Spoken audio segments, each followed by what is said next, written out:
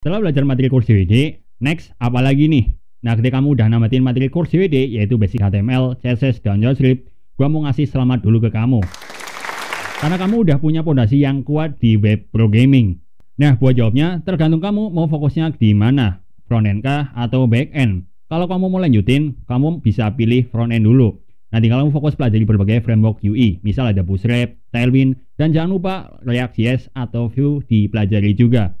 Nah kalau kamu mau bisa buat sistem dan mau ngolah data, kamu lanjut aja ke backend.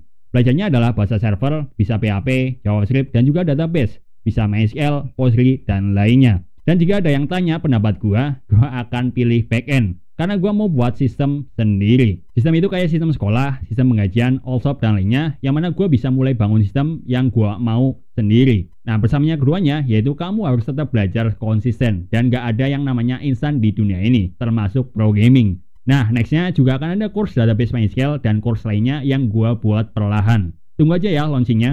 Nah sampai sini, apa yang akan kamu pilih? Lanjut front end atau back end? Coba komen ya. See you next video.